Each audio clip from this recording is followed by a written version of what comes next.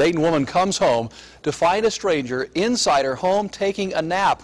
Aretha Baldwin says she returned to her Waymire Avenue home after helping her sick mom, only to find broken windows, her back door barricaded, and copper wiring missing. While the neighbors called police, Baldwin confronted a most un uninvited guest. And she's like, okay, let me get up, let me get up. Uh, so I said, get up and get out right now. And I made her stand right here on my back porch till the police came. You out here working trying to have something and somebody violates you like that?